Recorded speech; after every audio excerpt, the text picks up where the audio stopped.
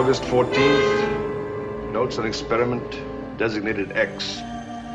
Experimental subject myself, James Xavier. X, the most fantastic experiment you have ever taken part in, presents Ray Milland in his most challenging role since his Academy Award winning Lost Weekend. X, the man with the X ray eyes. Are you all right? It's like a splitting of the world. More light than I've ever seen. Filled with light. X, the man with the X ray eyes, tries to help the most desperate in our society and enjoys all the delights of secretly studying sexology.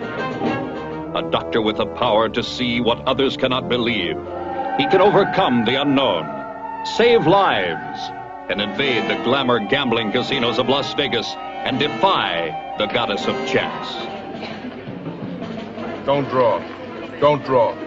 Next card's a face card. X, the man with the X-ray eyes.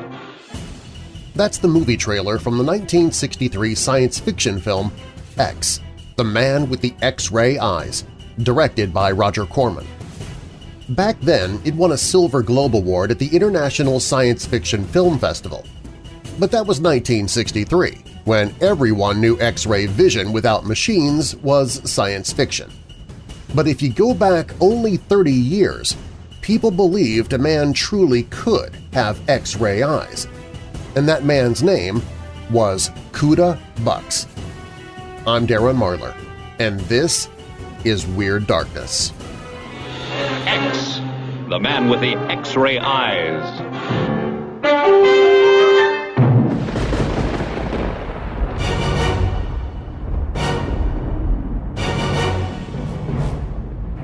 Welcome, Weirdos!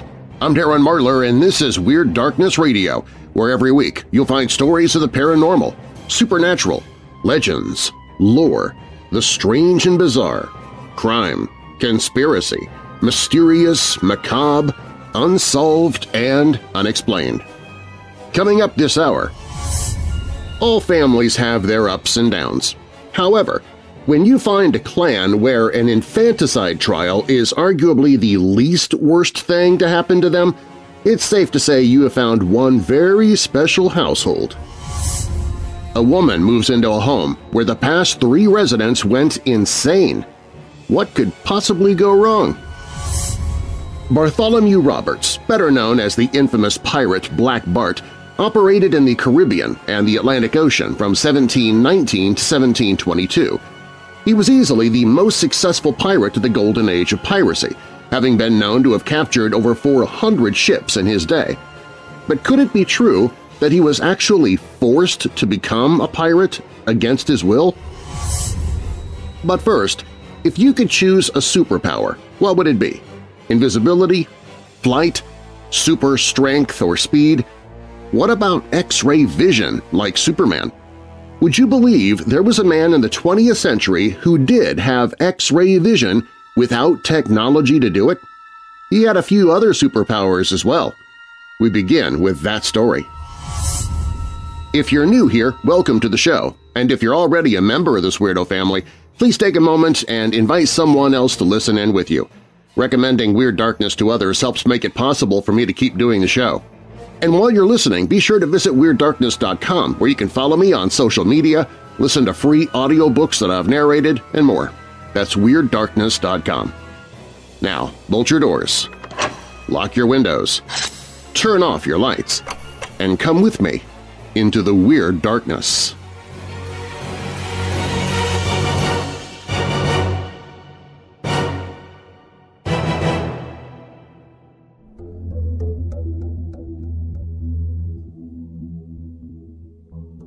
If you were a kid reading comic books in the mid-20th century, chances are you saw ads in every issue selling X-ray vision glasses. If they worked, you could have been like Kuda Bux, known as the man with the X-ray eyes. Bux, a Pakistani magician born as Kuda Buksh in 1905, mystified many with his ability to seemingly have eyeless sight in the mid-1930s. He also walked on hot coals, allowed himself to be buried alive for up to three hours, and could stop his heart and pulse on command. But it was his X-ray vision that was of special interest to many who'd been studying such possibilities at the time, including French writer Jules Romains. Psychic researcher Harry Price described Romains' beliefs in his book Confessions of a Ghost Hunter.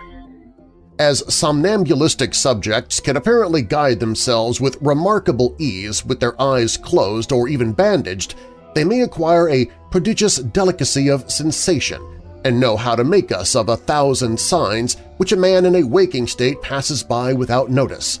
Their hearing, touch, and smell undergo hyperesthetic change and manage sometimes to take the place of sight. Bux demonstrated his talents by blindfolding himself with surgical bandages, tape, cotton wool, a mask, and dough covering his eye sockets. His face was completely covered except for his nose. He then proceeded to read anything put in front of him. The man with the X-ray eyes even demonstrated his skills by riding a bicycle through the busy streets of London with his blindfolding method in place. In 1935, he performed several tests for Price and other researchers at the University of London Council for Physical Investigation. Price was allowed to select any book off a shelf and flip to any page. I put my finger on a paragraph, Price wrote, and asked him to read it aloud. This he did at once, almost as quickly as the reader is pursuing this page. There was no sign of hesitation. Other books were placed in front of him, some with large print and some with small. He read them all. Bux continued to impress the council with similar feats. His blindfolding method was key to his abilities – Bux wouldn't allow a bag to simply be placed over his head. According to Price, this was because Bux claimed that he sees through or by means of his nostrils. This explained why his nose was always in the clear. It sounds a bit absurd, but Romains postulated a similar notion regarding eyeless sight. As Price explained, Romains states it's necessary to leave the nostrils free in order that his blindfolded or blinded subjects shall distinguish colors. He says that the nasal mucosa is sensitive to light and to different colored regions of the spectrum. This function is sharply distinct from smell, he continues. The part played by the nasal mucosa leads us to the following question. Is the unknown organ of extraretinal vision situated in one part of the body localized in a single one or diffused through many? Kuda Bux answers that, in his case, the unknown organ is situated in his nose. Despite that, Price and his team concluded that Bux was an extraordinary showman but did not possess X-ray vision. During our test, Bux would not allow us to adopt measures that absolutely precluded his seeing down the side of his nostrils and Although we witnessed a clever performance, all we learnt that afternoon was how extremely difficult it is to blindfold a person using ordinary methods, Price wrote. Regardless of Price's conclusion, Bux continued to perform his X-ray feats for audiences. However, three years later, at a demonstration with 300 people at a hotel, he was offered $10,000 if he could read with an ordinary bag over his head. The offer was made by Joseph Dunninger, a magician and president of the Universal Council for Psychical Research. Bux declined, saying his soul only provided this power to read through obstacles if it were done his way. The show went on, and Bux prepared his blindfolds in his usual fashion, which on this occasion included napkins from the hotel. He then read words on a blackboard, from newspapers and more. The audience was amazed. Yet, as a newspaper article described it, but always the nose of Kuda Bux stuck out of the wrappings, and he tilted his head, back, in a way that might suggest to the skeptical that there was a slight gap in the dough down the left side of his nose through which he might be reading. A reporter asked if he could read a card he placed inside a napkin, one just like Bux had used in his blindfolding. No, the napkin must be in contact with my body, the magician replied. He ended the demonstration and removed the bandages, dough, and napkins. The curious reporter grabbed one of the discarded napkins and pressed it to Bux's head. I place it in contact with your forehead, the journalist said. There's no dough in the way now, only one of the several napkins through which you read before. Can you read the name of the bank in this blank check that I take out of my pocket? Bux said he could not. The show was over. Psychologist attending the performance who had been impressed up until then suddenly grew disappointed.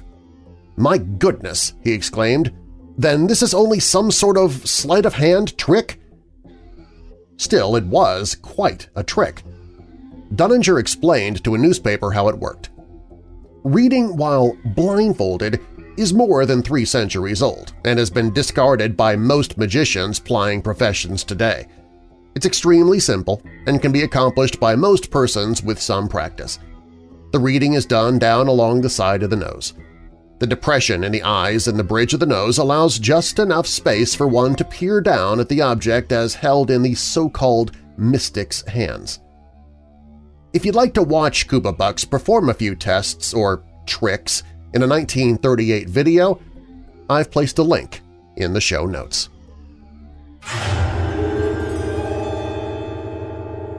When Weird Darkness returns, all families have their ups and downs.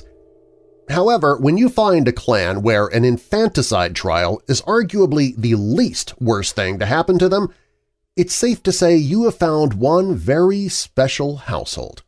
Coming up.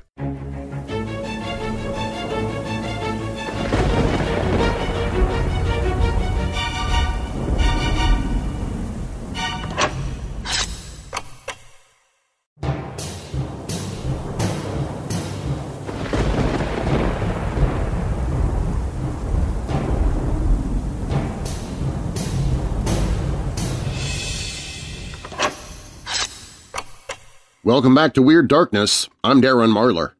You can get more Weird Darkness seven days a week through the Weird Darkness podcast, which you can find wherever you listen to podcasts. You can also find it on YouTube, or just visit WeirdDarkness.com slash listen and find a list of all the apps where you can listen to the show.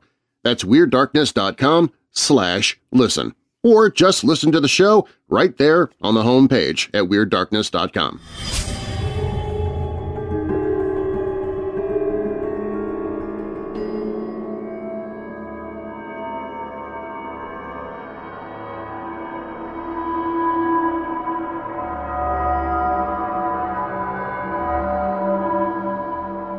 the Mabbitt family, described by one newspaper as from good old farmer stock, lived just outside of Delphi, Indiana. They seemed like an ideal family. The father, Peter Mabbitt, was both wealthy and respectable. The children were all attractive, intelligent, and popular. The belle of the family was 23-year-old Luella, who, naturally, had many suitors – her favored beau was a man ten years her senior named Amer Green, but for what may well have been very good reasons, her father disapproved of him. So strong was Mr. Mabbitt's dislike for Green that he was able to persuade Luella to write her lover a Dear John letter.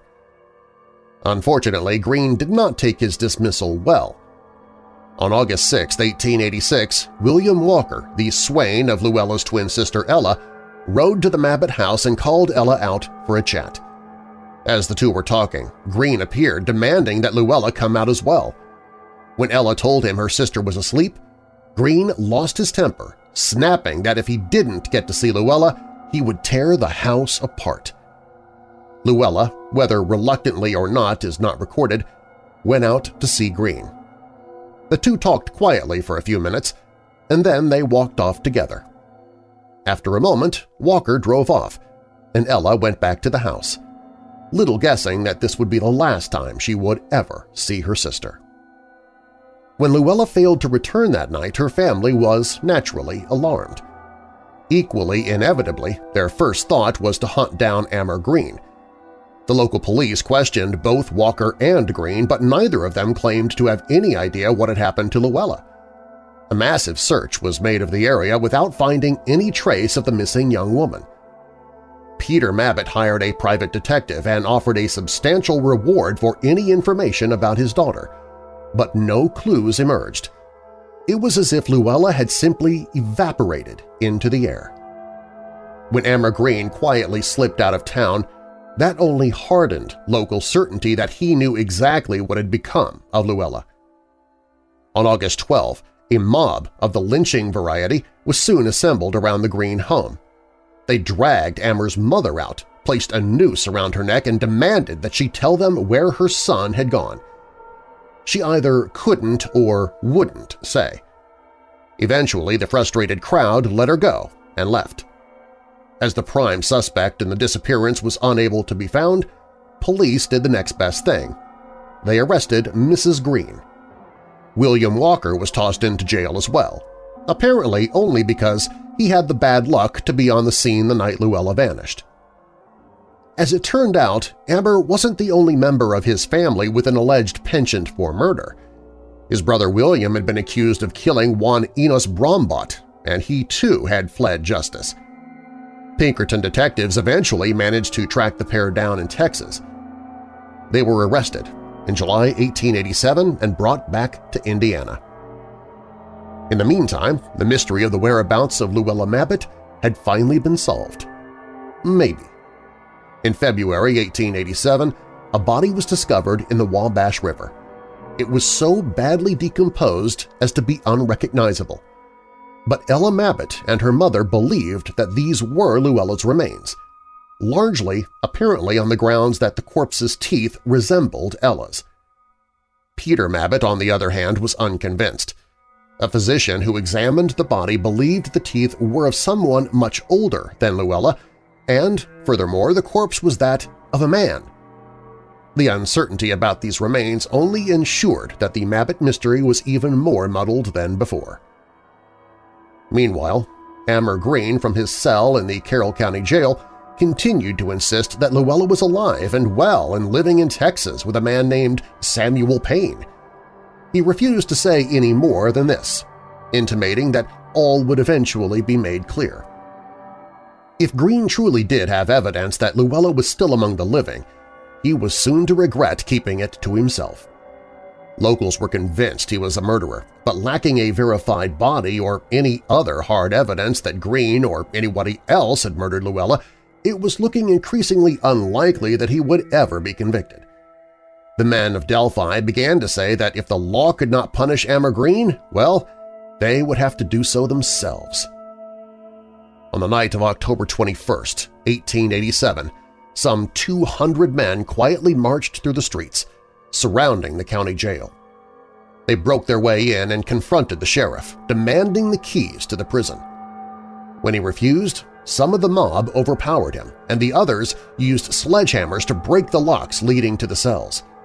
They went straight to the cell containing Amer Green. At gunpoint, he was seized and tied up. He was led outside and forced into a covered wagon. It drove off with the bulk of the crowd following. The wagon drove to the woods of Walnut Grove, about eight miles away. It was soon joined by a large caravan of carriages, wagons, and men on horseback. Green was taken out of the wagon and ordered to confess his guilt. Green maintained the stolid calm of a man who knows he's doomed. He quietly maintained that Luella was in Fort Worth. When asked why, if this was the case, she didn't come home and resolve the mystery, he replied, she would if I had the time to send for her. He claimed that Luella had been desperate to leave her home for some time, and on the night she vanished, he had merely assisted in her desire to run away. Among the crowd was Peter Mabbitt.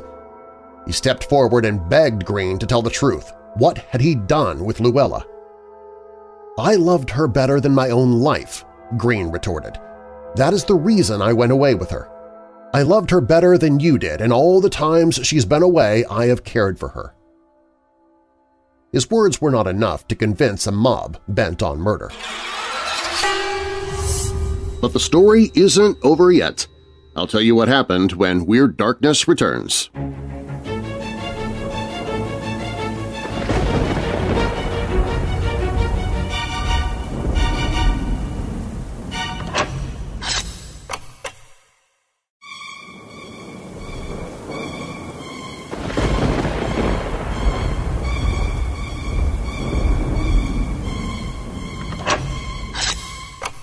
I'm Darren Marlar. Welcome back to Weird Darkness. Do you have a true paranormal story that has happened to you or someone you know? Share it by clicking on Tell Your Story at WeirdDarkness.com and I might use it in a future episode. When last we left the story, Amer Green was accused of murdering Luella, but he continued protesting his innocence, even saying, I loved her better than my own life. His words were not enough to convince a mob bent on murder.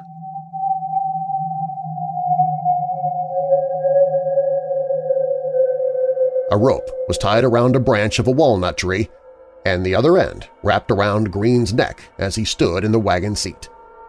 The wagon lurched forward, leaving the condemned man dangling in the air. When it was clear that Green was dead, the crowd soon dispersed, leaving the body hanging in the tree. Before the coroner took charge of it the next day, thousands of people came to gawk at the grotesque sight. Someone took a photograph of the hanging corpse, which was, I kid you not, turned into a postcard. Copies can be found online, but I strongly urge you not to try to find them. The men responsible for Green's lynching were never punished. To this day, Green's ghost is said to haunt the grove where he died. Green's death was not the end of the mystery. Detectives went to Fort Worth in an effort to track down this elusive Samuel Payne. Somewhat to their surprise, they found a Mrs. Orr, who claimed to have lived next door to Payne, and a woman who said that she was his wife. Mrs. Payne was a pretty woman in her early 20s who told Mrs. Orr that she was originally from Indiana. Unfortunately, the couple had since left town for parts unknown. If this was, as Amer Green insisted with literally his dying breath, Luella Mabbitt, she was never heard from again. This was not the end of the Mabbitt family tragedies. In 1890, Luella's 17-year-old sister Minnie became pregnant. Upon hearing of the news, the baby's father, one Charles Spilter, promptly washed his hands of her. Not knowing where else to turn, Minnie sought the help of her brothers, Oris and Mont. They helped her check into the Indianapolis Hotel under the name of Mrs. Minnie Jones – where she gave birth to a daughter she named Merle. Soon after this, the body of a baby girl was discovered in Eagle Creek. The coroner determined that she had died of strangulation soon after birth. Two women from the hotel where Minnie had stayed identified the baby as Merle. A buggy weight that had been used to weigh down the tiny corpse was determined to have come from the livery stable where Mont Mabbitt worked. It was also learned that on the night Minnie checked out of the hotel, Mont took one of the stable's buggies. Minnie, Mont, and Oris were all arrested.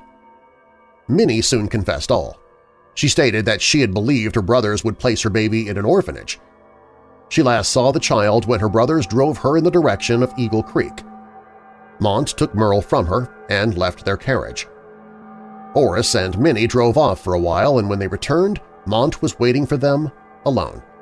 The three then returned to the city. No one told me the baby was dead, said Minnie, but I knew it was. During her trial, the beautiful young Minnie won everyone's sympathy. It was universally believed that she was but a helpless child, completely under the control of her brothers. She was acquitted of murder, much to the approval of those in the courtroom. Eventually, Oris and Mont, who both argued that they had never intended to murder the baby, were also set free. In the legal sense, this was the end of the Mabbitt saga. The lingering question of just what exactly became of Luella Mabbitt was never resolved. For many years after that fateful night in August 1886, there were periodic sightings of the supposedly murdered woman. In February 1916, her sister Ella told a reporter, For all I know, my sister may have not been murdered and may be living today. If such was the case, Amer Green must rank as one of the unluckiest men in Indiana history.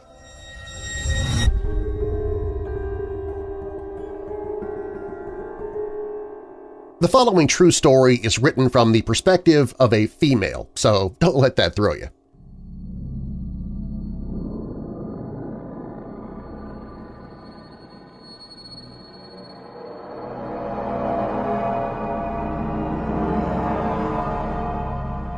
Let me begin by filling you in on my first house.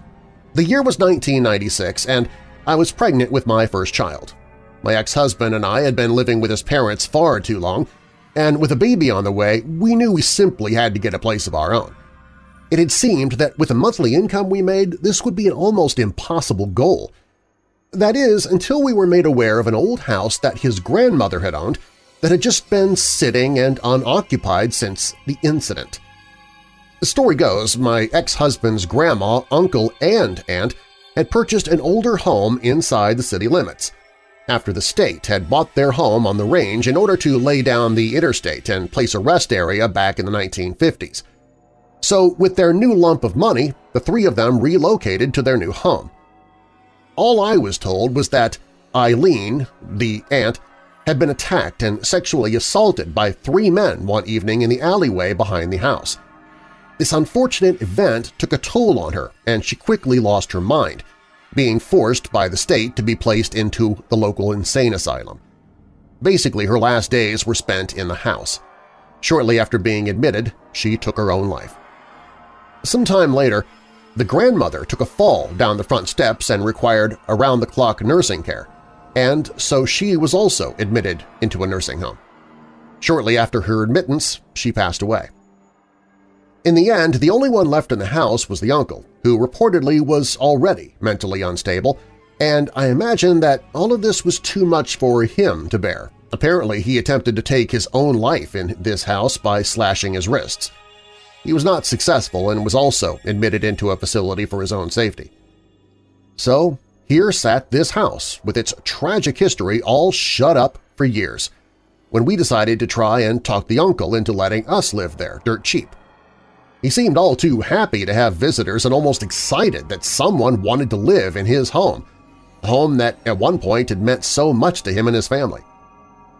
I have a rich past of dealing with the paranormal and unexplainable, so the history of the house didn't really affect my decision. I just knew that I was having a baby and desired to have my own place. I felt the place just needed some sprucing up, and thought by having some young people and the arrival of a new baby inhabiting it would be just what the house needed. My ex-husband worked the night shift at a local restaurant around that time and would sleep during the days, which wouldn't leave much time to get the place ready for moving in. I figured that while he was at work, in order to kill two birds with one stone, I would go and clean it up and give it a fresh coat of paint. The first night I decided to head over there and paint, I remember there being a very unwelcoming feeling about the place when I pulled up. I didn't let it stop me and grabbed my gear and headed inside. Once inside, I began to wonder if we made a bad decision about moving into the house. But I've always believed that once you start something, you should finish it and stick it out no matter what. So I took a couple of deep breaths, cleared my mind, and started in on the painting. I knew I was not alone, and that was fine. I kept hearing odd noises in different parts of the house. I was determined to get the painting done and was not going to let it deter me. That is, until I began to hear voices and hissing of sorts. I began to feel uneasy with that, but still I held true to the task. I was in the living room, and on the other side of the wall was the bathroom, which still had one of those metal chairs in the shower used for people who cannot stand up and take a shower on their own. I heard some scuffling in the bathroom and then what sounded like the metal chair being sat in abruptly or, or moved, so I stopped painting and listened some more. I hear the bathroom door shut and some more hissing. Standing there, not moving, still facing the wall with paint roller in hand, I'm just kind of waiting to see what comes next. I refused to look away from the wall in fear of maybe seeing something I would rather not see. I knew in that moment that the spirit, or whatever it was, was in the room with me, very near me. At that point, I figured that if I showed no fear, it would not do much. Next thing I knew, right next to my ear, I hear a whisper saying, Donnell! It knew my name! I dropped that roller right in the paint pan and left that place as quick as I could, all the lights still on, doors unlocked, and radio playing. You'd think I would have decided to revoke the decision to move in at that point, but the situation at my in-laws was less than desirable. I felt it just had to happen. Besides, what could really happen? How bad could it truly get? So I decided it would be best not to tell my ex of what had happened that night. I simply told him that the pregnancy had made me feel exhausted and that I thought it'd be best if we finished painting the house on his days off. We lived a total of three years in the house with only a handful of occurrences. One evening while my husband was at work, I was up late and very pregnant, feeling the need to do some deep cleaning as the due date of the baby was very near. Us mothers refer to this as the nesting instinct. There I was, standing in the kitchen when I heard voices coming from the basement. It sounded strange, like that of a radio station that wasn't well tuned but it just kept on talking and then stopped. I walked over to the door that led to the basement and locked it.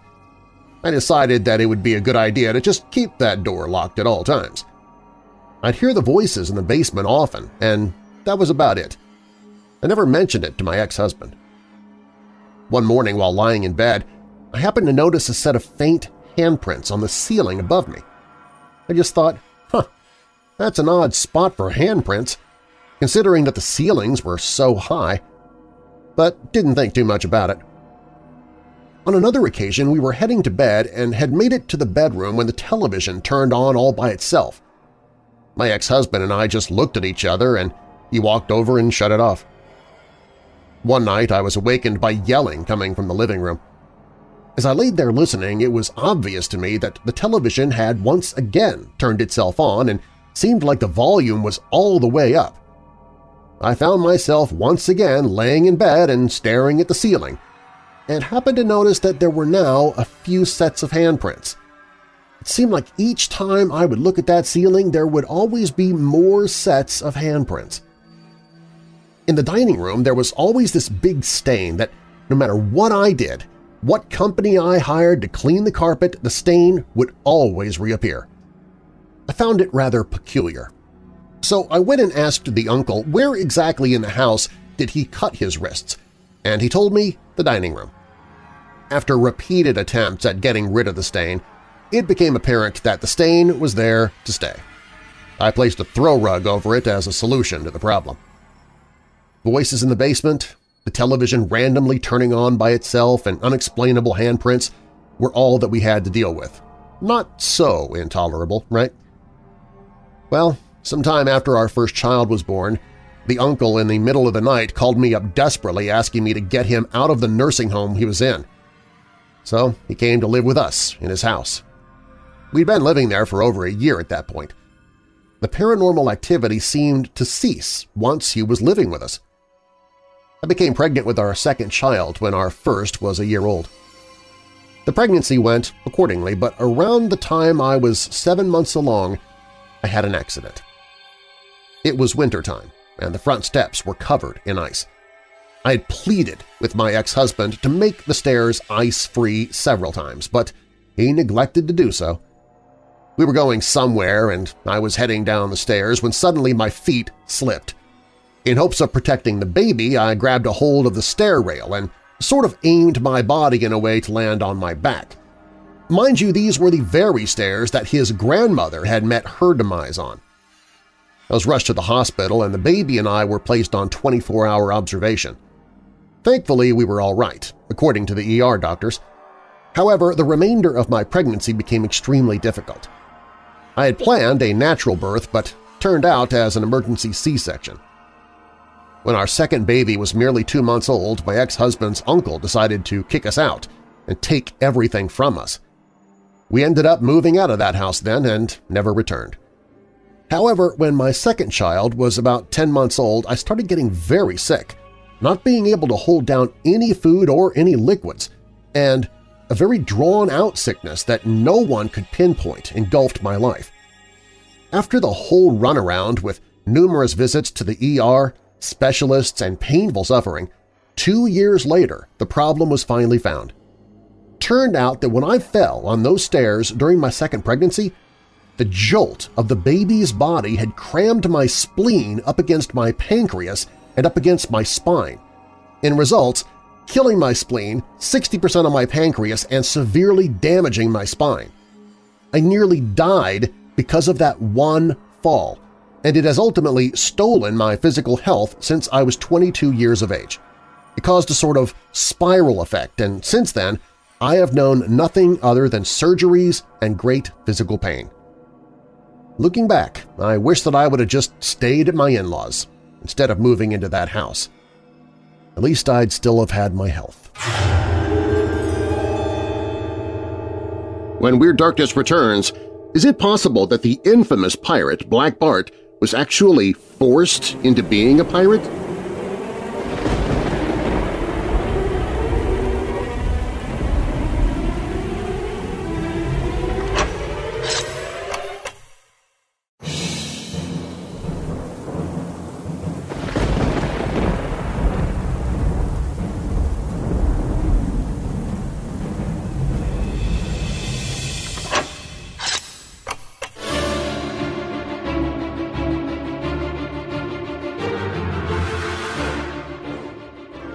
Having excellent navigation skills, courage, and charisma. When his vessel was captured, Bartholomew Roberts eventually became the most successful pirate of the Golden Age. The Golden Age of piracy spans between the 1650s to the 1730s. It was an intriguing and ruthless period in history when ships and the men and sometimes women who sailed them turned the oceans into an adventurous drama. Bartholomew Roberts' life was colorful and exciting. Between 1719 and 1722, he captured as many as 400 ships, including many superior warships. This made him the most wealthy and feared pirate of the Golden Age. It was his death and the trial of his crew in 1722 that symbolized the end of piracy's Golden Age. Born in 1682 in Wales, Bartholomew Roberts, whose original name was John Roberts, went to sea at the age of 13. Preparing for marine life, he continued sailing and in 1719 he earned a position as the second officer on board the ship Princess under Captain Abraham Plumb. His ship was captured by Welsh pirate Howell Davis. Roberts was enslaved and forced to bemuse one of the pirates. However, this did not bother him much because he soon realized this trade suited him well. Roberts was an attractive, tall man who enjoyed nice clothes and expensive jewelry. As a pirate, he had an opportunity not only to be famous but also rich. Pirate crews needed frequent replenishing. Most pirates were volunteers, but casualties from combat, disease, accidents, and occasional desertions took their toll, so pirates took every opportunity they could to acquire new men. Since able seamen, maritime carpenters, coopers, and navigators were preferred, it was sensible for pirates to seek recruits from among the crews of the ships they took as prizes. Pirates did not like risking injuries to themselves or their prizes, so the captains or owners of the ships that ran or fought were frequently punished. For the rest of the men, pirates tried persuasion first. In truth, merchant crews were often overworked, underpaid, and unhappy. Other arguments might include praise for the democratic life of piracy, the promise of better food, clothing and accommodation, liquor, and, of course, wealth. For the potential recruits to accept these reasons, the pirates themselves would need to be better dressed and nourished than them, which argues against the popular image of pirates as gaunt and ragged vagabonds. Of course, if time was short or their arguments unconvincing, the pirates would then resort to force in order to fill out their crews. Bartholomew Roberts once said, in an honest service there is thin commons, low wages, and hard labor. In this plenty and satiety, pleasure and ease, liberty and power, and who would not balance creditor on this side when all the hazard that is run for it, at worst, is only a sour look or two at choking? No, a merry life and a short one shall be my motto. Time revealed Robert's boldness was one of the reasons he became more successful than other pirates. Captain Howell Davis liked Roberts, and so did the rest of the crew. Once Davis discovered Roberts was an excellent navigator, he took consulting in him. In time, once Roberts gained Davis's trust, the captain was able to confide information to Roberts, keeping it hidden from the rest of the crew. In June 1719, Davis and some of the pirates were killed in an ambush, and Roberts was selected as the new captain. Robert's new life as a pirate was entering another stage. Once he and his fellow pirates had avenged Davis's death by destroying the harbor, they headed for the coast of South America to look for booty. Roberts was cunning and fooled many. He discovered 42 ships, and their escorts were waiting at Saints Bay off northern Brazil. Pretending he was just part of the convoy, he sailed into the bay and took one of the ships without anyone noticing. His eyes were set on the richest of the ships that he also captured quickly before the escorting ships had a chance to catch him. In June 1720, Roberts, who was later also known as Black Bart, captured 22 ships in the harbor, and then he and his crew continued to the Caribbean, where they captured dozens of vessels. Roberts, who called himself the Admiral of the Leeward Islands, had a couple of flags associated with him. One was a black flag bearing a skeleton representing death that held an hourglass in one hand and crossbones in the other. Another black flag, a white figure representing Roberts holding a flaming sword and standing on two skulls. Below were the words ABH and AMH, standing for a Barbadian head and a Martinisos head.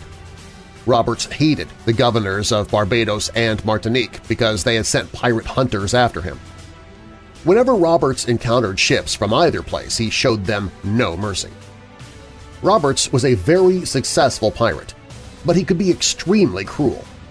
On one occasion, he ordered to burn Porcupine, a ship full of slaves because its captain had refused to pay the ransom. In February 1722, Captain Challoner Ogle, who commanded the warship Swallow, put a stop to Roberts' piracy. Ogle and his crew engaged in a fierce battle against Roberts and his pirates. Roberts was killed by grape shot, which struck him in the throat while he stood on the deck. His men fulfilled his wish and quickly threw his body into the sea. The life of Bartholomew Roberts, the greatest pirate of his generation, had come to an end. Roberts' pirates were helpless without their captain. They had only energy to fight for one hour after his death. Then they surrendered and were later put on trial.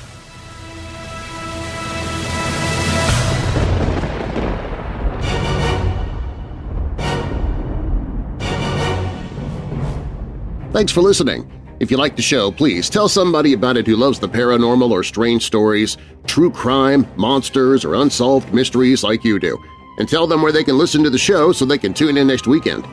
If you missed any part of tonight's show or if you'd like to hear it again, you can subscribe to the podcast in your favorite podcast app by searching for Weird Darkness. Visit WeirdDarkness.com and you can follow me on social media. Drop me an email, send me your own true paranormal story, listen to other podcasts that I host, and more. And now that we're coming out of the dark, I'll leave you with a little light.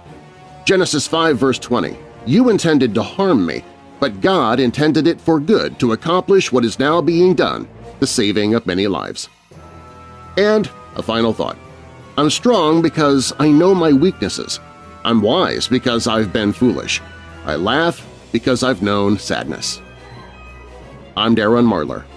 Thanks for joining me in the Weird Darkness.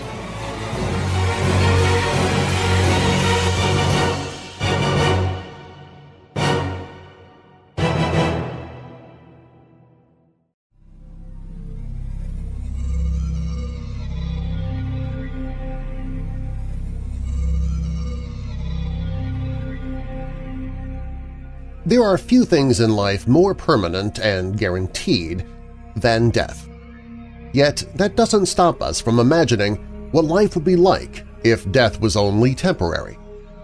In numerous movies and TV shows, reanimated human corpses roam the world, having avoided the permanent stillness of death, only to devour the living. Now, we know zombies aren't real, but reanimated corpses aren't exactly a figment of the imagination. Both necromancers and scientists have been attempting to restore life to the dead for hundreds of years. In the 1800s, physicist Giovanni Aldini became famous for his spectacular demonstrations of reanimating human and animal corpses by stimulating them with powerful electrical shocks. He would hook a battery up to dismembered humans or animals and cause the corpse to convulse as though it were alive. Audience members were awestruck, despite the fact the creature never actually came back to life.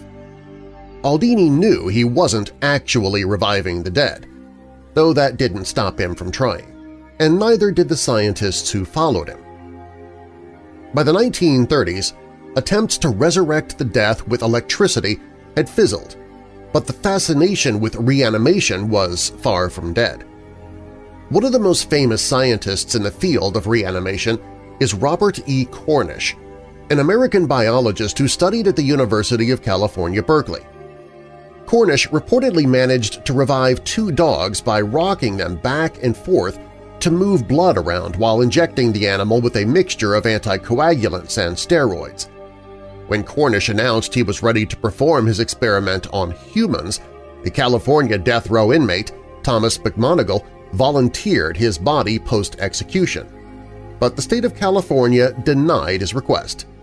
Because, let's face it, the last thing we need is technology that can bring death row inmates back to life after their demise. That's a horror movie script in the making.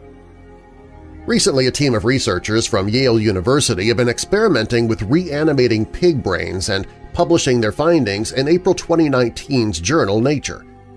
The scientists restored brain activity and some cellular activity in pigs a few hours after the animals died in a slaughterhouse.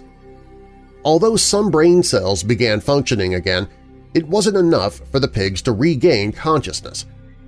Scientists not involved in the study told Live Science that the results throw into question what it means to be alive or brain-dead. Zombies are most certainly fake, but a few remarkable case studies suggest that some semblance of spontaneous resurrection is possible. In 2011, 46-year-old woman Kelly Dwyer fell into a frozen pond while hiking alone in New Hampshire. Dwyer's heart stopped before the ambulance could reach her and her body temperature plummeted to near 60 degrees Fahrenheit, 15 degrees Celsius, Popular Science reported. Dwyer had been dead for five hours. Then doctors switched off life support, and her heart spontaneously started again. After spending two weeks recovering in the hospital, Dwyer returned home alive and with no brain damage. She wasn't a zombie, but in a sense she had come back from the dead. Enough people have spontaneously come back to life several minutes after cardiac arrest that the instance has its own name – the Lazarus phenomenon. Not all of the people who experience the Lazarus phenomenon regain full neurological function or remain living for much longer, but a 2007 review estimated that about 35% of Lazarus phenomenon patients return to a normal, healthy life. Even after hundreds of years of failed experiments, some scientists are still trying to manually reanimate human corpses. BioQuark Inc., a U.S. biotechnology company, has been attempting to recruit 20 clinically dead patients for an experiment on reversing brain death. A letter published in the journal Critical Care said the trial borders on quackery and dead means dead. Zombie fans might disagree, and so might necromancers. Perhaps the key to bringing the dead to life has nothing to do with science and everything to do with black magic, witchcraft, spells, potions, the time of day, and the weather outside. While scientists have been trying for hundreds of years to bring the dead back to life, necromancers have been claiming for even longer to have been succeeding at it.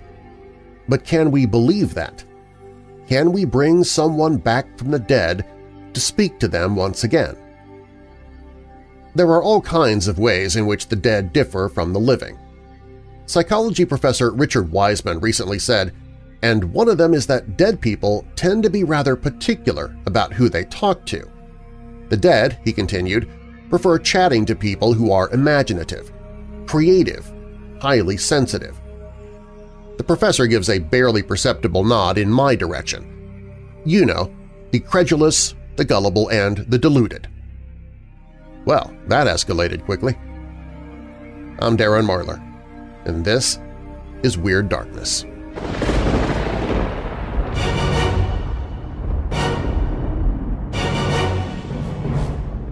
Welcome, Weirdos! I'm Darren Marlar, and this is Weird Darkness Radio, where every week you'll find stories of the paranormal, supernatural, legends, lore, the strange and bizarre, crime, conspiracy, mysterious, macabre, unsolved, and unexplained.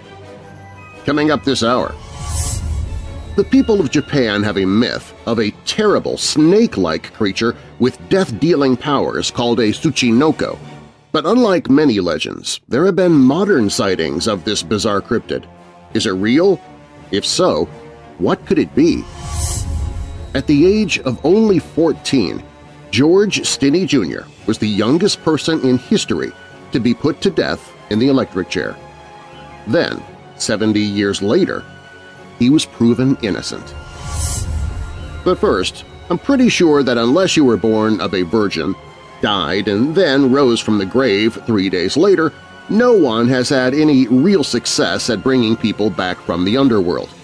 But that is exactly what people who practice necromancy try to do. They can't be successful at it, though. Or can they? We begin there. If you're new here, welcome to the show. And if you're already a member of this weirdo family, please take a moment and invite someone else to listen. Recommending Weird Darkness to others helps make it possible for me to keep doing the show. And while you're listening, be sure to visit WeirdDarkness.com where you can follow me on social media, listen to free audiobooks that I've narrated, and more. That's WeirdDarkness.com. Now, bolt your doors, lock your windows, turn off your lights, and come with me into the Weird Darkness.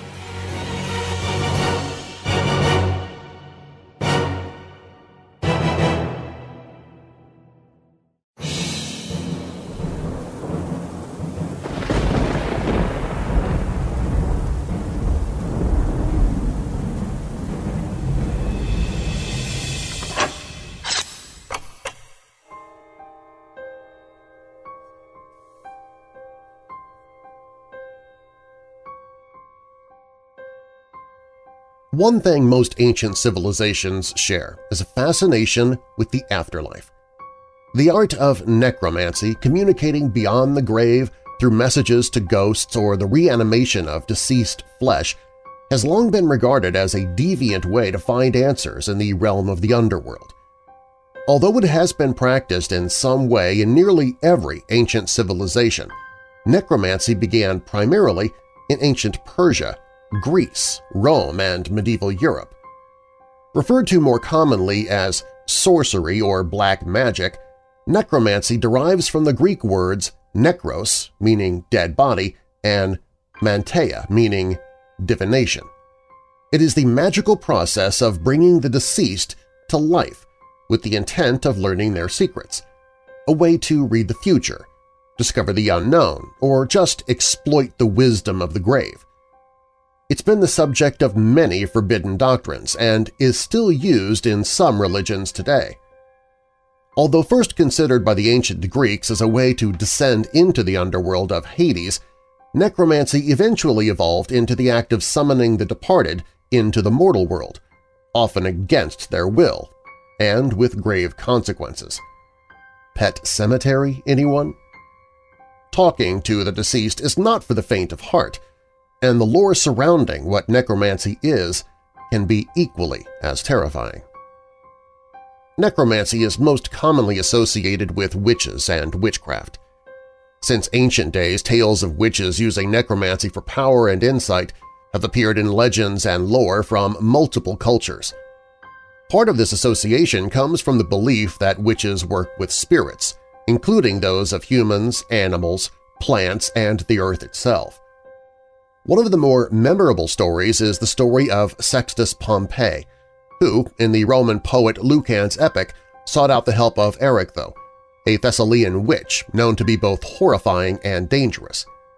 Regardless of her reputation, Sextus was desperate to know the outcome of the civil war before it happened, Erichtho was a serious necromancer who set up residence in a graveyard to facilitate her conversations with the deceased and promised to help Sextus with his query.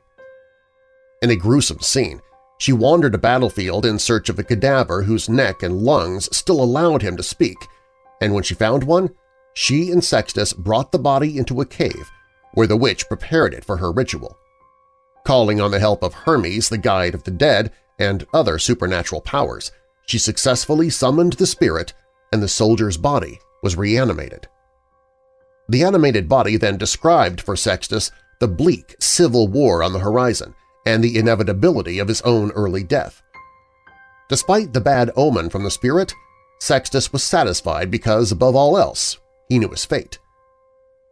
Necromantic rituals could be both mundane and grotesque, depending on their purpose, but they were almost always elaborate, often involving talismans, incantations, magic circles, candles, symbols, and wands. The necromancer might wear the clothes of the deceased, sit for days without moving, or even mutilate and eat corpses as a way to call out to the other side. They would choose melancholy locations that were well-suited to their guidelines, perhaps the home of the deceased subject, a ruin, or a dark graveyard. All of these morbid practices were just the warm-up for the eventual summoning of the spirit. According to folklore about necromancy, in order to raise a physical body from the other side, the process had to occur within one year of the death. Otherwise, the necromancer would only be able to evoke the ghost, not the real person. These days, existing practices of necromancy relate to the spiritualism of certain cultures who still believe the dead can lead the living into a realm of understanding. For example, necromancy is still practiced in the Afro-Brazilian religion Quimbanda, which purports that there are several types of spirits, including a group of female spirits called Pombagiras and a group of male spirits called Exus, who can be called on for aid. People who practice Quimbanda ask spirits to help them with specific tasks. But what do the dead really know? This question has been up for debate throughout the centuries. Roman poet Ovid wrote in the Metamorphoses that many felt the dead converged in an underworld marketplace where they exchanged news and gossip. Others thought they were much more sinister, including Jews and Christians. Many books of the Bible offer warnings against necromancy, fortune-telling, and false prophets. In the eyes of most Christians, bringing back non-living spirits was and still is nothing short of demon summoning. They believe that regardless of any perceived benefits, raising the dead goes in the face of God's authority and only leads to suffering.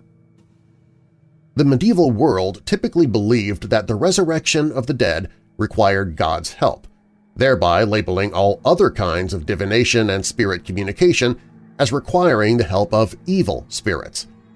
Even though many Catholics pray to deceased saints for their departed loved ones, the Bible and the Catholic Church condemn necromancy as a magical practice.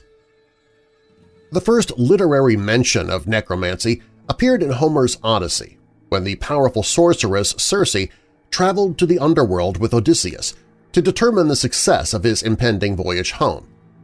By raising the spirit of the prophet Tiresias, who was known for his clairvoyance, they hoped to gain insight into Odysseus's future.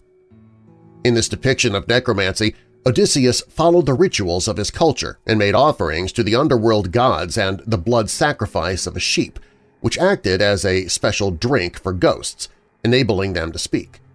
He spoke to several ghosts and was given warnings. Odysseus pandered to the dead as a way to ensure his future success and to gain insight into a realm where humans had no such visions. Odysseus was desperate to ascertain his fate no matter what the cost. This theme of desperation for knowledge, despite the religious and ethical implications of necromancy, reappear frequently in history. Despite it being a controversial form of black magic, many clerics in the Middle Ages studied and practiced necromancy. These medieval scholars believed necromancy could help them achieve many feats, both personal and spiritual, and they used their clerical training to perform the rituals correctly. It was believed necromancy could obtain answers from the dead that could solve real-life problems, like finding missing items, identifying culprits in crimes, or even predicting the future. According to author Robert Masello, in a typical ritual of necromancy, once the coffin was unsealed, the body would be removed and laid out with its head pointing east toward the rising sun, and its limbs assuming the position of crucifixion. A small dish of burning wine, mastic, and sweet oil would then be placed near the right hand of the body to promote conjuration. Of course, the incantations varied greatly between cultures, but all seemed to focus on commanding the spirit to move in the name of the deceased person and to answer the demands of the living. Assuming the ritual went according to plan, the body of the dead would slowly rise and dutifully answer the questions of the necromancer. The spirit would be rewarded for its cooperation by promises of future peace, and the body would be burned or buried in quicklime afterward, so it could never be reanimated again. As one would expect, the best time to perform necromancy was at midnight, especially if the night was filled with wind, rain, and lightning, because it was believed that spirits would show themselves more readily in stormy weather. Although practices varied from place to place, the majority of rituals involved lighting the scene with torches and creating a backdrop of deep contemplation and morbidity. For example, if a necromancer wanted to raise a corpse from a cemetery, magic circles would be drawn around the grave and certain powerful plants were burned, including hemlock, mandrake, and opium. Even today, there are people who claim they can speak to the dead. Modern necromancers cultivate working relationships with the departed through things like the art of throwing bones, where the future is read based on their placement. Working with the quote-unquote energy of the dead is the contemporary version of reanimation, and it tries to avoid brutality and the desecration of burial sites. But despite a surprisingly robust online necromancy community, the ancient art of bringing dead things to life is mostly gone. Probably because there's no evidence anyone has actually done it. While there is plenty of literature on the subject and contemporary witches who claim to know the old ways, it's clear that necromancy is not what it used to be.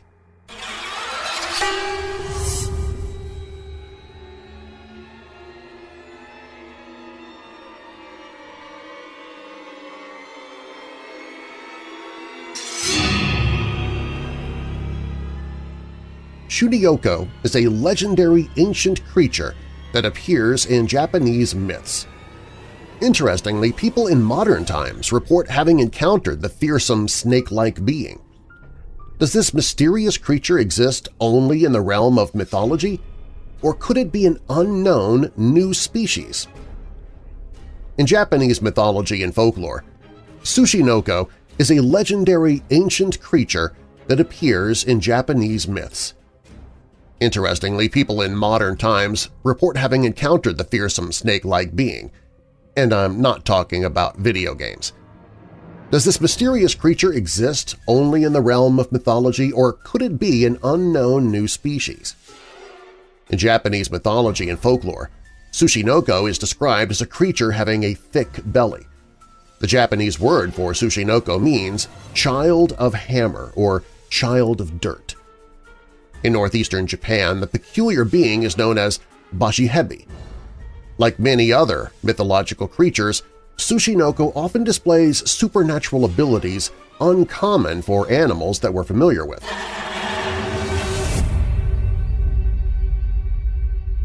What do you think some of those supernatural abilities are?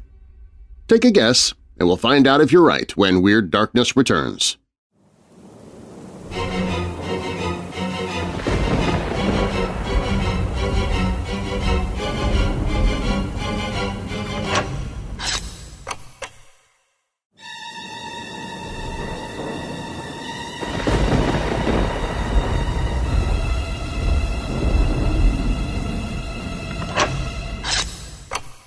Welcome back to Weird Darkness. I'm Darren Marlar. If you'd like to display your dark weirdness wherever you go, you can find Weird Darkness t-shirts, trucker caps, dad hats, school supplies, kids' clothes, coffee mugs, and more of the merch in the Weird Darkness store with dozens of designs to choose from and a variety of colors and sizes to match you. Grab some Weirdo merchandise for yourself or maybe as a gift for the weirdo in your life by clicking on Store at WeirdDarkness.com. That's WeirdDarkness.com slash store.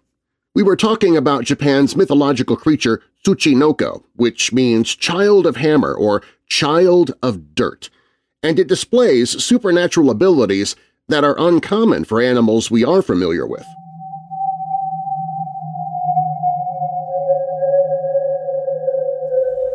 For example, despite its small size being only between 30 and 80 centimeters, that's 12 and 31 inches in length, Tsuchinoko can jump very high up in the air.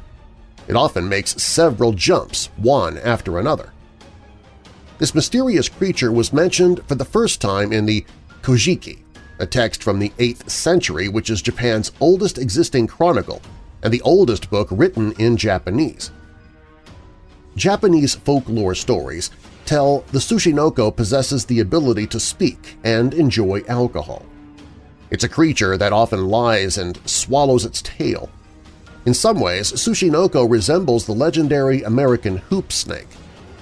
Tsuchinoko is said to inhabit deep, remote mountains and the animal's color varies, but it's mostly described as a black or dark brown creature having a thick orange belly. Some years ago, an unusual reptile was discovered in Mikata, a town located in Mikata District, Hyogo, Japan. Its peculiar appearance brought the legend of Tsuchinoko alive again. Since no one's ever found a real Tsuchinoko, it was difficult to determine if the unknown reptile was the same legendary snake mentioned in ancient Japanese tales. However, according to local government official Toshikazu Miyawaki, the animal found in Mikata might have been the Tsuchinoko. Its body was very thick and short. Several people also heard its squeak. It's not the first time reports of Tsuchinoko reached media. In the opening years of the 21st century, there was another Tsuchinoko boom, this one occurring when a farmer in a small town in Okayama Prefecture found the remains of a mysterious creature. The discovery set off a frenzy in the mass media with tabloid newspapers, magazines, and television shows capturing people's attention. Eventually, the body was examined by a biologist who pronounced it probably a Yamakagashi, a tiger keelback snake, Rhabdophis tigrinus, but not a normal one. The town itself had quickly become identified with the Tsuchinoko. There had been earlier sightings as well, and today Tsuchinoko is a local brand. You can, for example, buy Tsuchinoko wine. Alleged sightings of Tsuchinoko keep pouring in, but this little creature remains as elusive as ever, refusing to give up its identity and reveal its hiding place. Modern scientists still discovered many previously unknown creatures, so it's very possible there is a snake-like animal somewhere that once gave rise to the Tsuchinoko legends but researchers have not been able to confirm its existence. Yet. Perhaps Tsuchinoko resides not in mountains but rather inhabits the deep underwater realm because it's a semi-aquatic animal.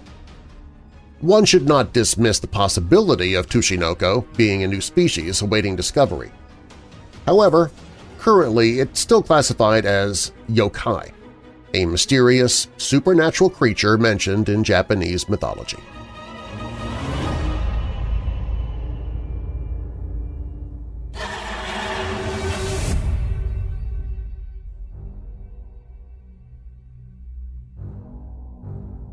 14-year-old George Junius Stinney was convicted of murdering two white girls, the youngest person to be electrocuted by an electric chair. His conviction was overturned 70 years later. Nothing like that ever happened in the sawmill village of Alcolu. Alcolu was a place anchored by the lumber mill where both men and women went to church twice on Sundays, and green fields teemed with balls of cotton every summer before bursting into clouds of white fuzz each fall. According to official documents, on March 24, 1944, Betty June, age 11, and Mary Emma Thames, age 7, were riding their bicycles in the black part of Alcolu looking for flowers. George Stinney Jr., a seventh grader, was out with his younger sister. When they saw Stinney outside, they stopped and asked if he knew where to find maypops, a local name for passion flowers. Betty and Mary never made it home that day.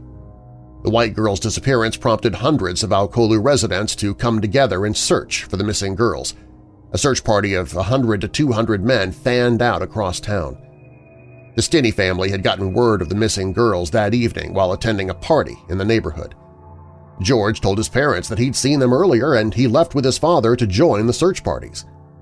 The girls were found the next morning, but sadly in a water-filled ditch with their skulls smashed in.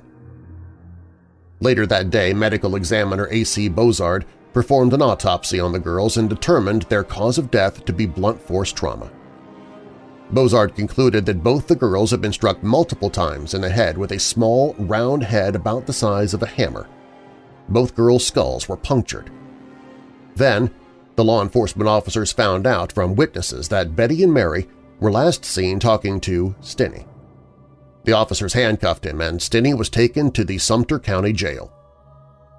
George Stinney was interrogated for hours in a locked room with no witnesses or an attorney. The reports differed to what kind of weapon had been used.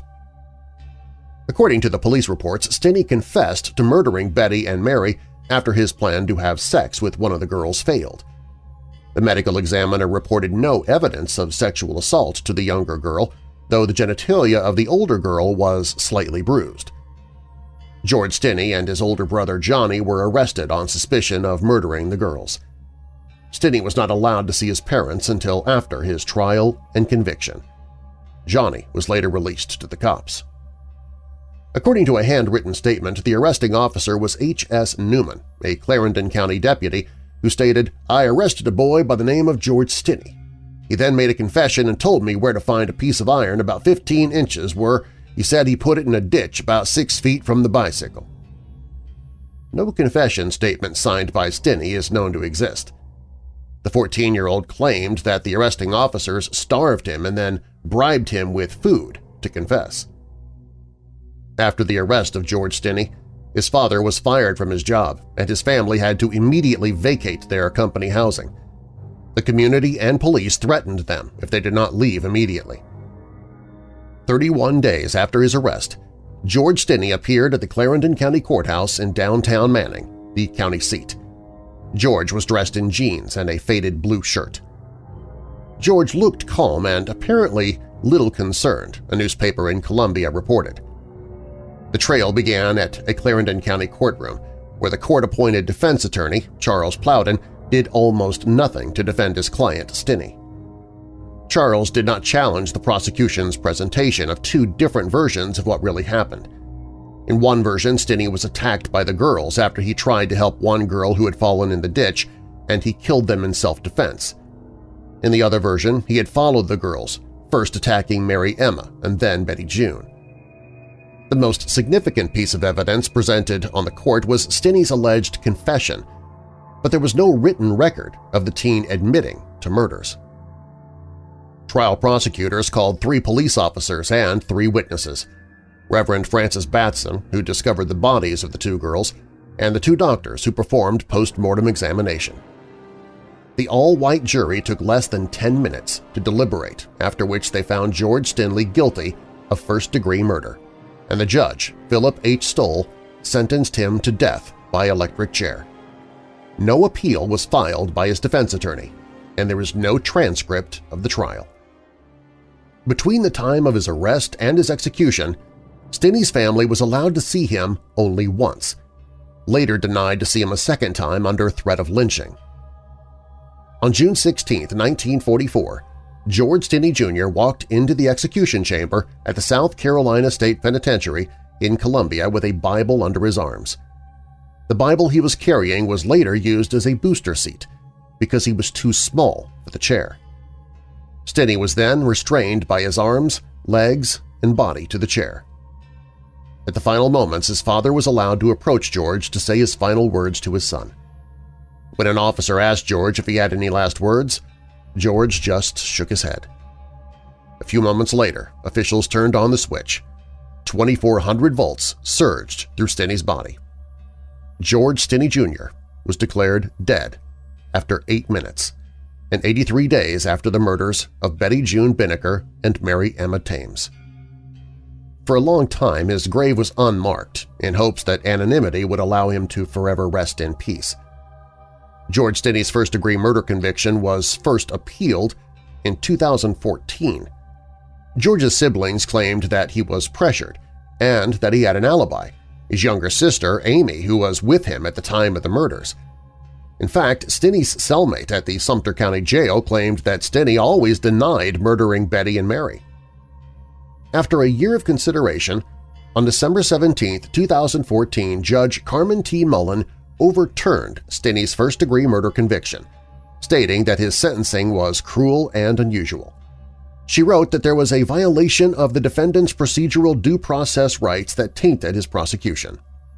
Mullen wrote, No one can justify a 14-year-old child charged, tried, convicted, and executed in some 80 days, including that, in essence, not much was done for this child when his life lay in the balance.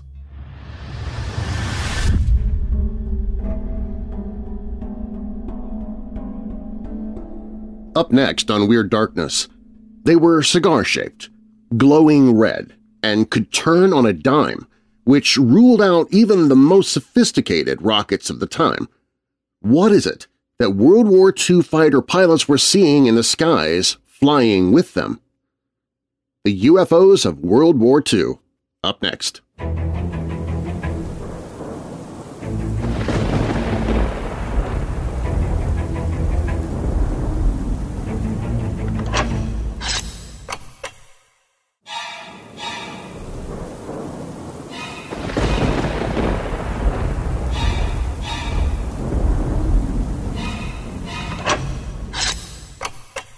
Welcome back to Weird Darkness. I'm Darren Marlar. If you or somebody you know struggles with depression or dark thoughts, I'd like to recommend the Hope in the Darkness page at WeirdDarkness.com. There I've gathered numerous free resources to help you fight depression, including the Crisis Text Line, the Suicide and Crisis Lifeline, Save.org, iFred, and more. These resources are absolutely free, and they are there when you need them on the Hope in the Darkness page at WeirdDarkness.com.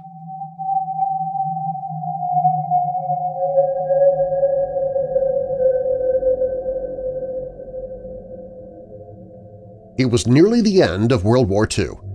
But for the airmen of the 415th Night Fighter Squadron, it felt more like the beginning of War of the Worlds. Lieutenant Fred Ringwald was the first to see it. He was riding as observer in a night fighter piloted by Lieutenant Ed Schlater with Lieutenant Donald J. Myers on radar. It was a late November evening in 1944, partly cloudy with a quarter moon. They were roaming the Rhine Valley just north of Strasbourg on the French-German border when Ringwald said, I wonder what those lights are, over there in the hills, according to an American Legion magazine story on the sightings from 1945. There were eight to ten of them in a row, glowing fiery orange. Then Schlater saw them off his right wing. They checked with Allied ground radar, but they registered nothing. Thinking that the lights might be some kind of German air weapon, Schlater turns the plane to fight, only to have the lights vanish. At first, the men said nothing, fearing they'd be ostracized. But then the sightings spread through the unit. On December 17, 1944, near Breisach, Germany, a pilot was flying at approximately 800 feet when he saw five or six flashing red and green lights in T-shape. The lights seemed to follow him, closing in to about 8 o'clock and 1,000 feet before disappearing as inexplicably as they came. Then on December 22nd, two more flight crews sighted lights. One crew near Haguenau reported two lights and a large orange glow, seeming to rise from the Earth to 10,000 feet, tailing the fighter for approximately two minutes. After that, the lights peel off and turn away, fly along level for a few minutes and then go out. They appear to be under perfect control at all times, according to Keith Chester's book Strange Company – Military Encounters with UFOs in World War II, which I've placed a link to in the show notes. And then there was Lieutenant Samuel A. Krasny's experience. a wingless, cigar-shaped object glowing red just a few yards off the plane's wingtip. Lieutenant Krasny, justifiably spooked, instructed the pilot to attempt evasive maneuvers, but the glowing object stayed right next to the jet for several minutes before it flew off and disappeared. Eventually, the airmen named the lights Foo Fighters, inspired by the comic strip Smokey Stover, in which Smokey, a firefighter, would often declare, where there's foo, there's fire. An Associated Press reporter broke news of the Foo Fighter sightings on January 1, 1945, and theories about their origins quickly abounded. The sightings were flares or weather balloons or St. Elmo's fire, a phenomenon where a light appears on the tips of objects in stormy weather. But the members of the 415th rejected all those theories. Flares and weather balloons can't track planes like these objects could and they'd seen St. Elmo's fire and could distinguish the two. Then there were those who claimed that the airmen were suffering from combat fatigue, a polite way of saying that war stress was driving them insane. But there was scant evidence to suggest collective psychosis. The 415th had an otherwise excellent record, and when a reporter for American Legion magazine went to report on the squadron, he described them as very normal airmen whose primary interest was combat, and after that came pin-up girls, poker, donuts, and the derivatives of the grape. Lieutenant Krasny's son, Keith Krasny, says his late father didn't fit the stereotypical profile of a UFO theorizer. In fact, he never even suggested that the glowing wingless cigar-like object that flew next to his plane was extraterrestrial in origin. He was very level-headed very analytical, says Krasny of his father, adding that he kept a notebook where he wrote about and drew his Foo Fighter sighting. But although he never seemed prone to conspiracy theories, Krasny says his father was open to one. He entertained the idea that it could be late-breaking German technology. He did express the view that there were a lot of things during the war that were kept quiet. Holding Nazi Germany responsible for the flying glowing orbs isn't too far-fetched. For one thing, the sightings took place over Nazi-occupied Europe, at a time when Germany's Luftwaffe was making tremendous strides. Then there's the fact that the sightings stopped once the German army was defeated. But the most compelling link to the Foo Fighters might be Wernher von Braun, a 32-year-old Wunderkind rocket engineer. Von Braun helped the Nazis develop the V-2 rocket, a long-range guided ballistic missile that Hitler was using in 1944 against Belgium and other parts of Allied Europe. It's not too hard to imagine pilots, unfamiliar with long-range ballistics, comparing these rockets to cigar-like wingless planes. The V-2 could even explain the glow since its tail emitted a long-burning plume. Nicholas Veronico, an author who has written several books on military aviation history, says that explanation comes up short. The V-2 rocket doesn't have the maneuverability, he says. It couldn't turn on a dime and change its acceleration pattern. Once it started burning, it burned and produced thrust at one rating. Nothing in Nazi Germany's military aviation arsenal can explain the Foo Fighter description, Veronico says. One airman's observation from the time, that the Foo Fighters follow the fighters so closely as to seem almost magnetized to them, is particularly confounding, given that there just wasn't the propulsion of metallurgical technology that could enable something like that. And yet, von Braun's career after World War II is worth considering. Following the collapse of the Third Reich, the engineer was recruited to be part of Operation Paperclip, a clandestine U.S. military program that spared 1,600 Nazi scientists prosecution for war crimes, moving them instead into the American military, where their past was whitewashed to the public. By 1952, von Braun had reinvented himself as a spaceflight advocate, writing a piece that year in Collier's magazine declaring that within the next 10 or 15 years the Earth will have a new companion in the skies, a man-made satellite that could be either the greatest force for peace ever devised or one of the most terrible weapons of war, depending on who makes and controls it. His prediction proved overly conservative. The Soviets launched Sputnik 1 only five years later. Von Braun helped the U.S. Army launch Explorer 1 shortly thereafter. By 1960, he was with NASA, where he became the chief architect on Saturn V, the rocket that sent Neil Armstrong and the Apollo 11 crew to the Moon. As von Braun recast himself as an American patriot, his career in the Nazi Party shadowed him, an ambiguous secret that reporters would playfully poke at. At one press conference before an Apollo launch, a reporter asked von Braun to assure the press that the rocket wouldn't hit London. But they could never prove his involvement, and it was only in 1985, several years after von Braun's death, that CNN broke news of the full extent of the aerospace engineer's Nazi past, more than 40 years after the fact. Veronico hopes the Foo Fighter narrative will follow a similar trajectory. The fantasy is that a hundred years after the war, the U.S. or Soviets will release information about what they captured and it'll blow all our minds. But I think they would have capitalized on it by this point, the historian says. Or weaponized it.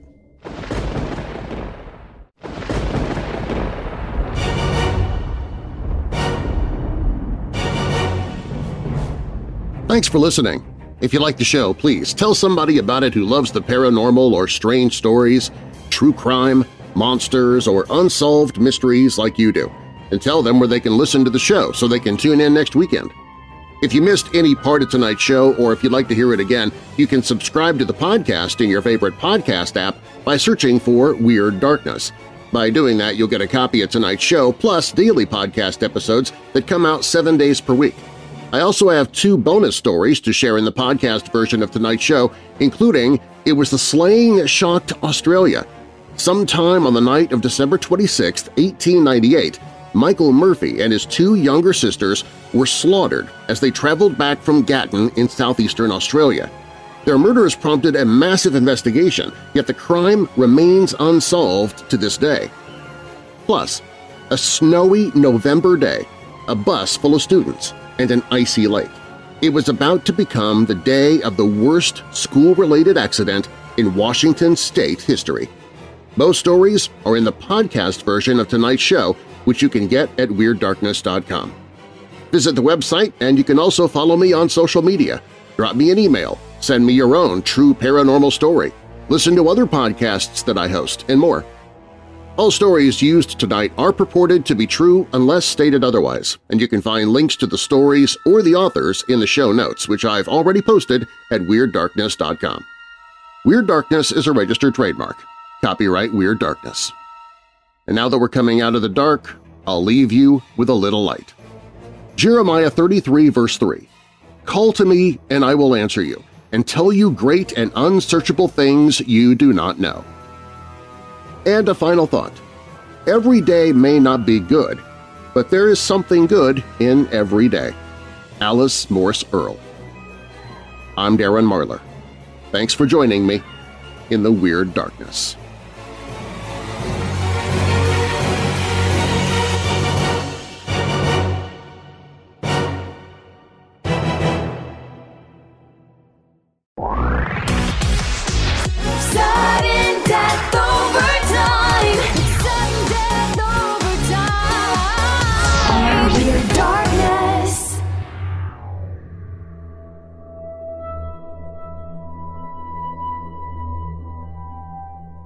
The small town of Gatton, which in 2011 had a little less than 7,000 residents, lies some 60 miles west of Brisbane in Queensland, Australia. In the late 19th century, it was a popular waypoint for rail and road traffic traveling east to the coast or west to the fertile region of Darling Downs. The Murphy family owned a farm about eight miles outside of Gatton, and 29-year-old Michael was home for the holidays that fateful December in 1898. On the afternoon of the 26th, Michael borrowed a one-horse sulky cart from his brother-in-law, William McNeil, to take his sisters Nora, 27, and Teresa Ellen, 19, to a dance at the Divisional Board Hall in Gatton. Before they arrived, however, Michael received word that the dance had been canceled, so he turned the sulky around and headed home with his family. No one made it back alive. The next morning, the Murphy family awoke to find that Michael, Nora, and Ellen were missing. McNeil set out looking for them, He followed the road into Gatton on horseback, keeping an eye out for the crooked tracks of his sulky, which had a wobbly wheel from an earlier accident. He soon found the distinctive tracks, which veered off the road and into a wooded pasture. The sight did not arouse suspicion just yet. Even as the three figures came into view, McNeil presumed they were sleeping. It wasn't until he saw the ants crawling across their bodies that he realized what had happened. The scene was grisly and decidedly strange. Michael and Ellen lay back-to-back -back within a few feet of one another, while Nora lay nearby on a neatly spread rug soaked in blood. All three had their legs carefully arranged with the feet pointing to the west, one of the many odd details that remain a mystery. The two women had their hands tied behind their backs, while Michael's hands appeared to have been tied and then untied again, possibly to access a purse found near his body. Speculation later arose as to whether Michael's hands had been untied by the killer, by McNeil himself, or by some other visitor who stumbled across the bodies before the police secured the crime scene. At a glance, it appeared as if all three of the Murphys had been bludgeoned to death. In Nora's case, her skull was so badly damaged that her brain protruded. Post-mortem examinations revealed that Nora had also been strangled, and that Michael had been shot in the head before being struck. The blow from the blunt instrument partially disguised the bullet hole. In addition, the women may have been raped, possibly with the brass-mounted handle of a riding whip. The sulky stood nearby, at an angle to the bodies. The horse had been shot in the head, and its dead body lay between the shafts of the sulky. A distraught McNeil raced toward Gatton, stopping first at the Brian Boru Hotel where he told patrons of the murder. He then pressed on to alert local police. A crowd of people left the hotel and hurried to the crime scene as McNeil sought authorities. Even after McNeil alerted police, a subsequent communications breakdown within the department led to additional delays. By the time investigators finally arrived at the pasture in full force, nearly two days after the bodies were discovered, spectators had completely contaminated the area. Police collected more than 3,000 statements in weeks after the slaying, yet their investigation was plagued by mistakes and accusations of incompetence. After inconsistencies arose between reports from the crime scene and the post-mortem examination, Chief Inspector Stewart ordered the bodies to be exhumed and re-examined. The examination uncovered previously missed evidence, including a bullet lodged in Michael's skull. Such errors led to rumors ranging from corruption within the police force to sinister interference from the Murphy family. While numerous individuals were suspected, no one was ever charged in the attacks. Anger over the perceived mishandling of the case led in part to a royal commission in 1899, which investigated the methods of the Queensland police force. For many amateur detectives, the most likely culprit is a man known variously as Theo Farmer, Thomas Ferner, and Thomas Day. Day was employed by a local butcher in December 1898 and was reportedly lurking near the murder scene on the night of the killings. Some suspect that he was also responsible for another murder just a few weeks before, when 15-year-old Alfred Stephen Hill was killed in a nearby Oxley. The boy's pony was shot in the head, much like the Murphy horse. In 1900, Day was admitted to the Sydney Hospital under the name Thomas Ferner, where he died from a self-inflicted gunshot wound to the head. It is said that he left behind a suicide note admitting that he was present during the Gatton murders and stating that he couldn't sleep due to nightmares of seeing the victims' heads being bashed in. Such a claim only compounds the mystery. Was Day the actual killer, or did he witness the slaying committed by another hand? More than a hundred years later, the Gatton murders case is haunted by unanswered questions.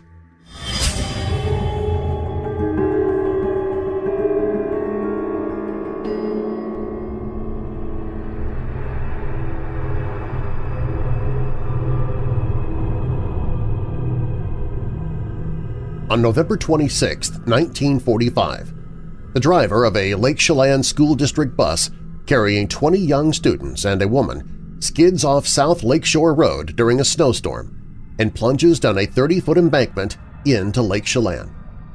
The woman and five children manage to escape through broken windows and reach the shore, but the driver and 15 students drown in the icy waters.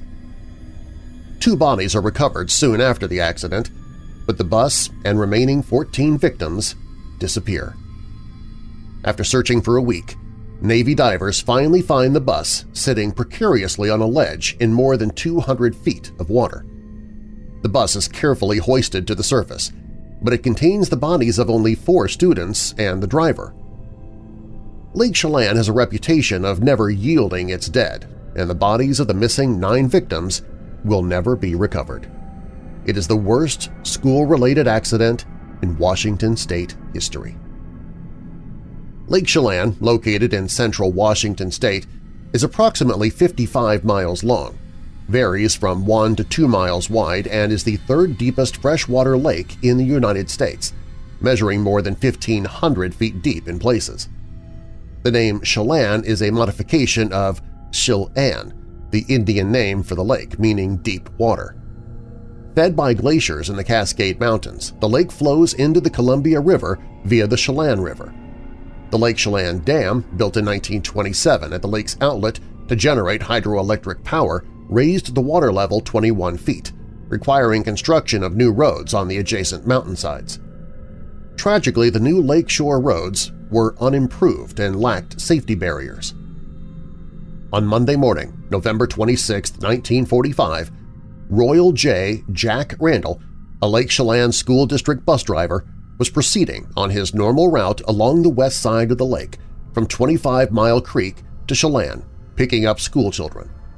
Mrs. Glenna Brown caught a ride on the bus, hoping to keep a dental appointment in Chelan. It had started snowing, but there was only a light accumulation on the unpaved road, so he didn't bother putting on tire chains. But the snowstorm intensified, limiting his vision. Randall, a World War II veteran, had spent 26 months on Attu in the Aleutian Islands as an Army truck driver, so he wasn't intimidated by severe winter weather. According to surviving witnesses, approximately nine miles from Chelan, now Lake Chelan State Park, a heavy accumulation of snow on the windshield stopped the wipers from working. Unable to see, Randall pulled the bus off the roadway to clear the windshield. However, the bus struck an outcropping of rock, sending it diagonally across the road over a 50-degree, 30-foot embankment. The bus rolled over twice and came to rest on its right side up on a large boulder, with the front end five feet underwater. Randall, injured and trapped behind the steering wheel, ordered everyone to get out. There was a mass confusion as the students frantically looked for ways to escape. Marie Condon, a student, managed to kick out a window near the back but as she and others left the bus, it became overbalanced and slid off the rock. Only six passengers managed to escape before the bus disappeared into the lake. The survivors were Mrs. Glenna Brown, age 37, Donald Mack, age 13, Ethel Keck, age 9, Robert Watson, age 8, Peggy Rice, age 16, and Marie Condon, age 17. Having escaped through the broken window, Donald Mack swam ashore and clambered up the steep embankment. He found a U.S. Forest Service emergency telephone box on a nearby utility pole and called for help. On the road, Mack was joined by Robert Watson and Marie Condon, and they flagged down passing cars telling the drivers that the school bus had gone into the lake. Peggy Rice was credited with dragging most of the survivors from the water to safety on the embankment. Ironically, the first car at the scene was driven by her father, Albert R. Rice, who, with his son Alan, had been a few minutes behind the school bus. After helping Glenna Brown, Peggy Rice, and Ethel Keck up the embankment, they looked for more survivors, but found none. Then Albert Rice and other motorists took the survivors to the hospital in Chelan for medical attention. School officials were unsure how many students were in the bus. It was nearly 1 p.m. when an accurate count and their identities were finally established. Meanwhile, as the alarm spread, emergency vehicles were arriving at the scene from all over Chelan County. The Chelan Fire Department with a resuscitator was the first to arrive and stood by all day and into the night. The Washington State Patrol and Chelan County Sheriff's Office established roadblocks to control traffic through the area. The Forest Service erected a shelter over the nearby emergency telephone that provided direct communications with Chelan and the outside world. The Red Cross set up a small canvas tent on the bank, providing the rescue workers with hot coffee and sandwiches. A tugboat and a 100-foot ore barge belonging to the Howe Sound Mining Company were moored at the water's edge above the sunken bus to use as a platform for diving operations. But nothing could be done to retrieve the bodies or raise the bus until men with diving equipment arrived. Meanwhile, the snow continued falling heavily, about an inch per hour. Late that afternoon, the two U.S. Bureau of Reclamation trucks arrived from Grand Coulee Dam, loaded with deep-sea diving equipment and air compressors. After donning their equipment, the divers, brothers Colin and D.S. Mac O'Donnell, finally entered the water at 6.10 p.m. Since it was night, the divers used battery-operated spotlights to search the underwater embankment for any sign of the vehicle. They recovered the body of Henry Davis, age 16, and continued searching until 6.35 p.m. without further success. Limited by the length of their air hoses, they were only able to descend 130 feet on the first dive and sent for more air hose. Later that evening, Ben Thorson, a Washington Water Power diver, arrived from Spokane with a truckload of equipment. Meantime, the weather continued hindering rescue and salvage attempts. On Tuesday, November 27, 1945, the O'Donnells recovered the body of Foreman Ronald Ayers, age 13, and followed a trail down a rock ravine marked by scarred rocks, yellow paint scrapings, and broken glass. At 200 feet, the divers came to a ledge and the visible end of the trail. It was also the limit to which they could safely descend without special equipment. Recovery efforts were temporarily abandoned and buoys were placed in the water, marking the spot where the bus disappeared and floating debris, papers, lunchbox, and clothing had been spotted. At the request of the Washington State Patrol, the 13th Naval District in Seattle agreed to take over the recovery operation and dispatched a team of diving specialists and equipment to the lake.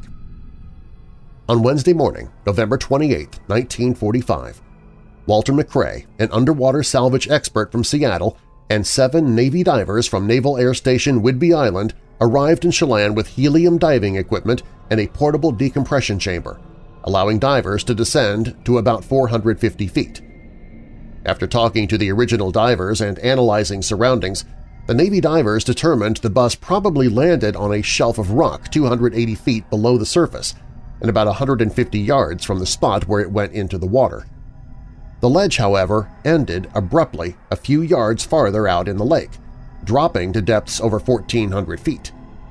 If the bus was not found on the ledge, the experts conceded there would be little chance of recovery. Only a diving bell used by the Navy for deep salvage operations could descend to such tremendous depths. Before descending on a potentially dangerous dive, McCrae decided to sweep the suspect area with drag lines and grappling hooks. Late that afternoon, power launches commenced dragging operations, but they were suspended after only three sweeps because of darkness. The search for the bus resumed the following morning and continued throughout the day, but without success. On Thursday morning, November 29, 1945, McCrae descended 262 feet into Lake Chelan. He stayed at that depth for nine minutes and covered a circle approximately 60 feet in diameter, searching for traces of the missing school bus. Upon his ascent, McCrae was required to spend four hours in the portable decompression chamber to avoid the bends, nitrogen bubbles in the bloodstream that can cause excruciating pain, permanent injury, or even death. Meantime, dragging operations were resumed and continued throughout the day. The Forest Service towed a big electromagnet along the lake bottom, hoping it would attach to the vehicle's metal body. On Friday morning, November 30, 1945, the divers began searching at the 130 to 160 foot level, where two bodies had been found, but farther down the embankment. The dive team members, taking turns searching throughout the day, finally relocated the path of the lost school bus, late in the afternoon. The last diver into the lake was Lieutenant C.P. Ross, who stumbled across the bus's engine compartment hood while searching in near darkness. The search resumed in earnest on Saturday morning, December 1, 1945. Chief Petty Officer C.E. Myers followed the trail of debris and found the bus shortly after 10 a.m., resting on a ledge upside down, 275 feet from the shore at a depth of 210 feet. After returning to the surface, Myers was taken to the decompression chamber to recover from his dive. He reported seeing bodies, but visibility inside the bus was poor and he was unable to provide an accurate count. The next diver, Walter McRae, fastened cables around the front and rear axles. Then, winches carefully hoisted the wrecked bus alongside the barge so that the bodies could be removed. Divers found only five victims inside the bus, including the driver, Jack Randall. They continued searching the area around the wreck site for the nine missing children, but recovery efforts were eventually suspended when no additional bodies were found. The bodies were taken by launch to Chelan City Hall, where parents could positively identify their children. Fastened against the barge, the bus was towed to the Howe Sound Mining Company dock in Chelan, where it was removed from the water by a large crane. The Washington State Patrol responsible for investigating traffic fatality on state roads had the wreck hauled to a police garage so experts could determine if a mechanical failure caused the accident on Wednesday, December 5, 1945. Funeral services were held for the five victims recovered from the school bus on December 1st.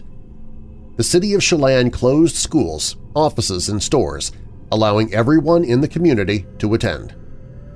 Afterward, a memorial service was held on Lake Chelan at the site of the tragic accident for all of the victims. Small boats circled the area where the bus was found, dropping flowers into the water. On Thursday, December 20, 1945, the Washington State Patrol released the official results of their investigation into the fatal accident.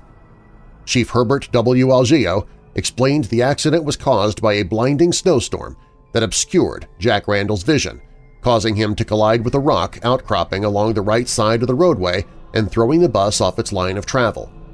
Apparently, Randall didn't realize the road was bending to the right and drove diagonally across the road, over the bank into the lake. Although no mechanical defects had been found which could have contributed to the mishap, Algeo vowed to intensify the State Patrol's semi-annual school bus inspections. Chief Algeo went on to say that it was incumbent upon school authorities to prevent buses from operating when weather conditions were unsafe. However, parents in the community pointed out that concrete guardrails which were supposed to have been built along the lake road would have prevented the tragedy. Ironically, on Thanksgiving Day, November 22, 1945, a front-page story in the Chelan Valley Mirror had quoted Chelan County Commissioner Leon Kronk as saying that the South Lake Shore Road would be improved and oiled in 1946. After the tragedy, children in the Lake Chelan School District began collecting money for a memorial to their dead classmates. Later, Chelan businesses took up the cause, adding additional funds. The Chelan community collected enough money to erect a monument and establish a small memorial park, which is located near the site of the accident on State Route 971, approximately one mile east of Lake Chelan State Park. Sudden death over time. Your dark